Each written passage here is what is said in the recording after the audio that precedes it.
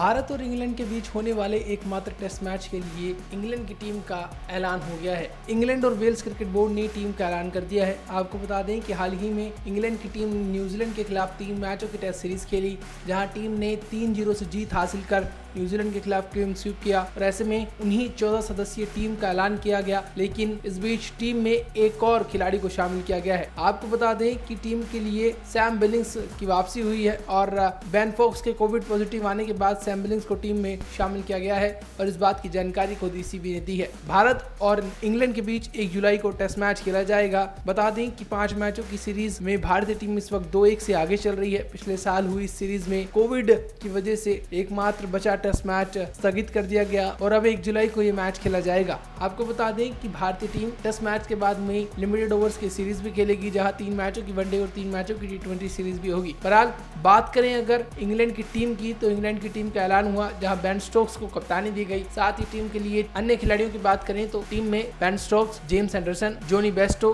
Sam Billings Stuart Broad Harry Brook Jack Crawley Jack Leach, Alex Lees Craig Overton, Jamie Overton, Ollie Pope, Matty Potts और Joe root शामिल हैं। बता दें कि New Zealand के खिलाफ शानदार इंग्लैंड ने सीरीज़ खेली और तीन ज़ीरो से सीरीज़ में जीत हासिल की। तो ऐसे में न्यूजीलैंड की टीम पूरी तरीके से अपने इसी आत्मविश्वास को भारत के खिलाफ कायम रखना चाहेगी। वहीं भारतीय टीम की बात करें तो भारतीय टीम लंबे समय के बाद टेस्ट सीरीज़ खेल रही है। तो ऐसे में टीम के लिए जीतना अहम होगा। साथ ही बात करें भारतीय कप्तान रोहित शर्मा की तो वह कोविड नाइन्टीन पॉजिटिव पाए गए हैं। तो ऐसे में भारतीय टीम की कप्तानी कौन करेगा?